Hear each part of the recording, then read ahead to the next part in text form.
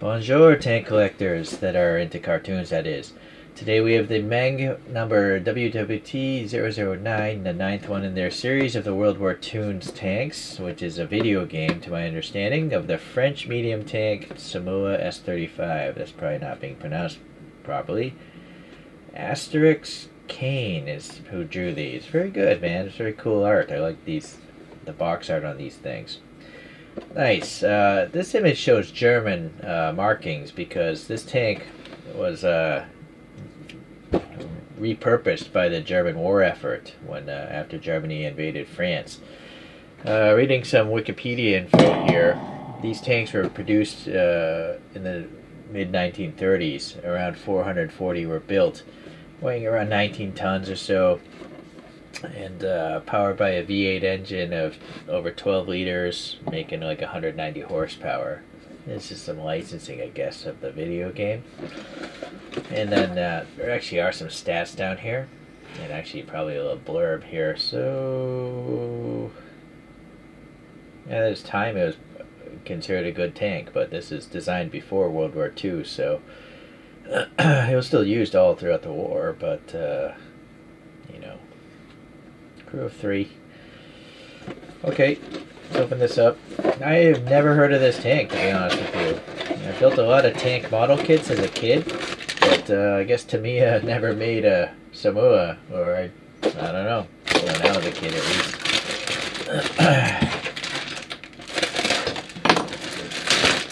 Alright, if you're new to modeling, these are a great subject. Ew, there's some weird like mold or something growing on this thing. That's gross. Maybe that's why I'm coughing a lot all the time. oh, is there only? Oh, I thought there was only one track in it. That would have been horrible. These are actually nicely molded rubber tracks. They're much smaller. These are the smallest tracks I've ever seen from this lineup so far. They're very thin. Uh, they, they're actually probably the most realistic tracks I've seen in this collection so far. Okay. Nice. So we do have the French markings and the German markings, which is great. I'm going to paint this as a French tank, and I'm going to save these German markings for another kit that didn't come with German decals. So that is quite convenient for me. Awesome. Decals are expensive. I looked up the cost of decal sheets, and they're really expensive for what you get. I mean, they cost as much as cheap model kits.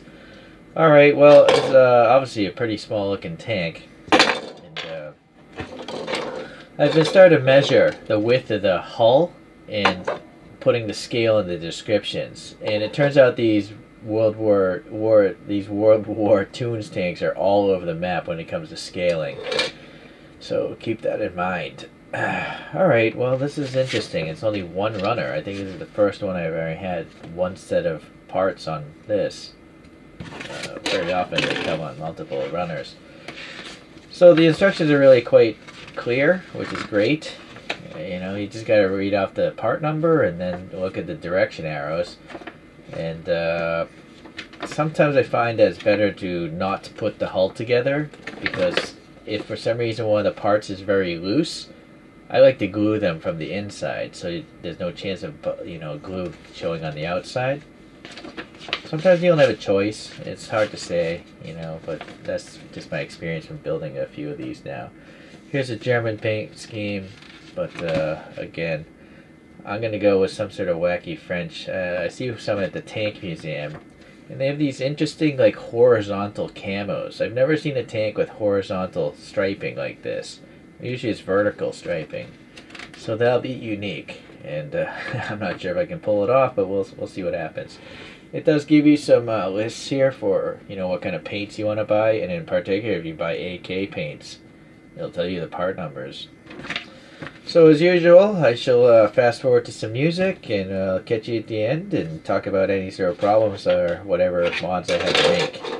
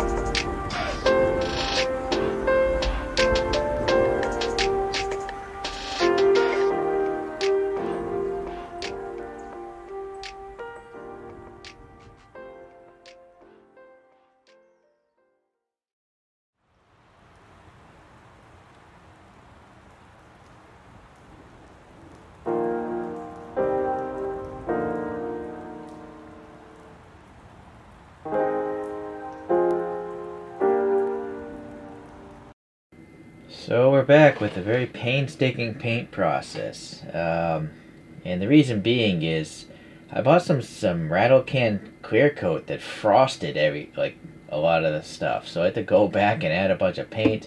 And I was so frustrated I thought about even skipping the black lines and all that stuff. These black lines are with a display marker. Uh, so and then before that clear coat was this Alexan putty, masking putty that droops. It doesn't stay in place. So that pulled some paint and that was really frustrating.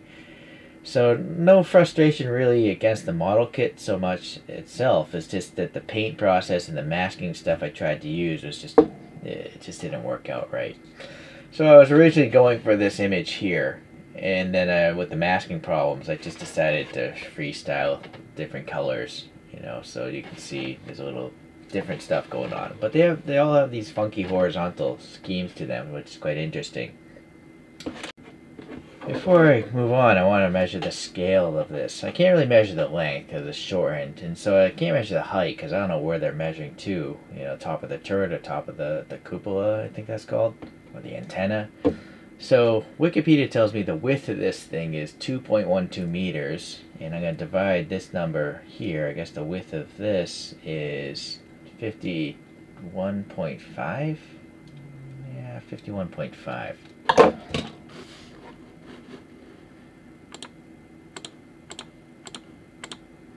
So this is around 141, 142 scale, 143rd. It's somewhere in the low 40s. So I'm going to list it as 141 scale, I guess. Alright. Alright, let me get back into uh, issues I had here, or talk about articulation, things that pop into my memory. Turret wise, yeah, it's pretty straightforward. This is one of the Lusa turrets. Uh, here's that clear coat, you see? It just totally caked this. I thought at first it was a reaction with the paint. I did use a cheaper acrylic paint, but it's not because I tested then this clear coat on just a plain piece of cardboard and it frosted that cardboard as well. So it wasn't my hobby paint, it was just the rattle can paint. So I gotta throw away that paint or use it for something totally, or just use it for things I want to be white instead of clear. Alright, uh, this hatch can be post open, but the I felt like the hinges were so flimsy that I decided to crazy glue it shut. I didn't want to risk it. And just like on my Char B1, I glued this in place, and even after it dried after a day, somehow when I was painting it, I moved it downwards and I blocked off this uh, sight window. So I ended up shaving this post down and crazy, glue it, crazy gluing it here and up here so it won't move anymore. I wish that was better designed. I decided to drill out this hole and these two holes here, whereas I think the last one that might have paint. This this turret is identical, pretty much to the one on the uh, the Char B1, except for this. It comes with the extra part to match the other turret, but I decided to put the different turret on. Alright, so yeah, you get a tiny bit of movement out of that uh, cannon there. And uh, yeah, that's it for the top. You can see there. Keyway is in a pretty logical location, so it shouldn't fall out if you did lift it up by the top. Um, one benefit of that white frosting is it created a texture to this, so it looks like the tank is really old or even cast metal. But uh, yeah, I did have to go back and add all this color on top of that white. And this was after the decals were done, so yeah. Alright. This rust here is a, a mix of rust paint by Vallejo and then some pigments of rust color, orange color. There's some uh, Tamiya paint wash in these uh, vents here. Yeah, that decal there is okay. All this black line work was a display pen, and then after that I wiped it down with like some wet Q-tips to make it look weathered. It just looked weird to be solid black. Um, yeah, the tank treads do move, but I don't want to move them because the paint will fall off. Okay. Big headlight's kind of weird, but uh, I do like this here, how this hatch is so deep. You know, it's very dark in there, very cool. I did add paint to these uh, other hatches, so there's no air there, it's just a surface. It's pretty hard to paint these little buckles, So just take your time if you're going to do it. Uh, some of the parts I felt I did crazy glue them on the backside or on the inside surface. I felt like they might be loose. In fact, this one isn't glued at all because I thought I was going to repaint. I thought I was going to paint the box a different color, so I wanted that to be removed. Same with this. I haven't glued this in either uh, until I was totally finished with all the painting. And then as far as uh, after the painting and making it look old, besides the black paint, on the other stuff I used a, a wire brush, a brass brush, because I didn't use any hairspray between the, the primer and the colors. So you need to have something a little more aggressive to actually weather away some of the paint. So literally a copper or a, br a brass brush was used and some water to soften the paint. You might notice there's a chain here. This is like a just a cheap gin, like a chain I bought off AliExpress. You can buy it by the meter, and it's like 50 cents or a dollar or something like that. And they come in different colors, but this one was just a silver chain, and so I painted it black before I mounted it on here. This is a, a red uh, paint marker by uh, Hobby Mio. Actually, I have too much red there. I gotta go back over it. So very often, if I want to remove paint, I have these eyelash uh, things, and they're pretty good at removing paint and find locations, but actually I removed too much now, so I have to go back and add more red again. Alright, uh, this decal on the instructions, this should be right here, but I feel like I need something more in the back. I don't know what these arrows are, but I've seen them on a couple tanks now. Please leave a comment if you know. I did put the decal of what the tank was, but somehow fondling it. It wasn't dried off enough, so that got all messed up as well. Alright, well anyways, I think the end result is okay. In fact, I, I actually like it, except maybe the black lines. I feel like they're too thick using that display pen. I would have probably been better off if I used just a fine paint uh, paintbrush to have done that. But I want to try out those paint pens. Alright, paint markers, or whatever you want to call them. So here's a Char B1, and you can see the turret, except for this part, pretty much identical with that. Again, I could have put this top, top part on that turret that had the part to do it, but I want my tanks to be as different as possible. So, yeah, this is a heavy tank, medium tank, so the sizing makes sense. What doesn't make the greatest sense is how the Sherman is so undersized. Uh, it's scaled so small, yet it's a medium-sized tank it just it looks like a light tank instead of a medium tank in this little cartoon universe that uh, Meng Meng modeled or video game universe you, you call it. But I like how the French here they have different you know camo styles. Again, I'd never seen a camo that was horizontal like that. It makes sense though if you're trying to match the horizon of a field, you know, that to have the stuff like that. Whereas you know Vertical camo is more like if you're running through trees and bushes, which obviously happens as well. But uh, I really enjoy the differences. Alright, so let's get these two out of here. Little cartoon figure. I don't know what this is. It was actually a crocodile girl. She literally had a crocodile tail. And I just filled it, cut it off, and put some putty back here. So now she looks like an army girl. And apparently today, a French army girl. I actually didn't put all the decals on uh, this one. This one had uh, another French decal, but this one never came with one, so I put that one on this one. I don't know why this model kit only came with this one decal, Sassy Cassie, and no other decals. Very strange. So it's nice that this had two French uh, flag decals. So, thank you for watching.